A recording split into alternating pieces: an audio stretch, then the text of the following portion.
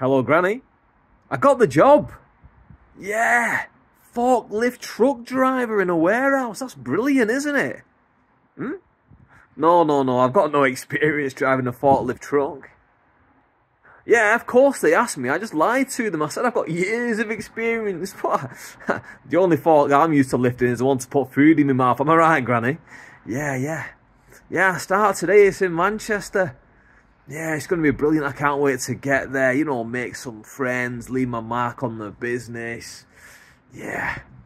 Anyway, I just thought I'd let you know. I've got to get ready now for work, so I'll uh, I'll speak to you later. I'll let you know how my first day went. Yeah. Love you too, Granny. Yeah. Bye-bye. Bye-bye-bye. Three hours later.